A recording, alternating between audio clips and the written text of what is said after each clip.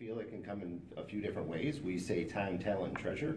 Uh, time being uh, using your time to give a kind word to someone, uh, to help them when you see a need. Um, talents, using the gifts you've been given. Um, maybe it's vocationally. Um, let's just say I'm, I'm a president of a bank, so I can serve on a finance committee or, or something somewhere where they need help uh, to do something. Of course, treasure. Uh, that's probably where most people see a lot of generosity is through giving, uh, tangible giving, through financial resources.